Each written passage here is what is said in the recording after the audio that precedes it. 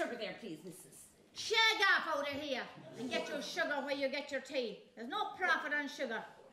Here's your tobacco bud. Look at the small child. well, well, well. Is it a boy or a girl? That's no way to talk to the old couple. You should be ashamed of yourself. The same applies to you if you don't like the situation here. Oh, well, God bless you, but you've a heart to limestone. Wouldn't I want it to be dealing with the likes of you?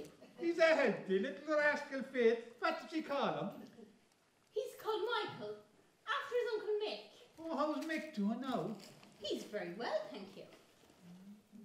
And Gert, what way is Gert? She's doing nursing.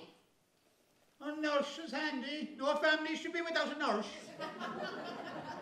And yourself, Mrs. How are you keeping? I'm fine, thanks. Is, is he showing any sign of a tooth? Will you shag off out of here and don't be adding us? If you want any more information, buy the newspaper. Come on away, woman.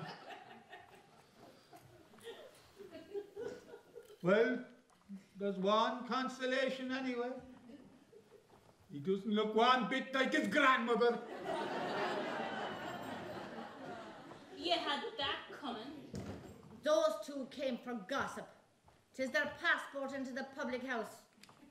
Do you want any more messages, Bun? All right, I'm going, I'm going, I'm going. so long, Katie.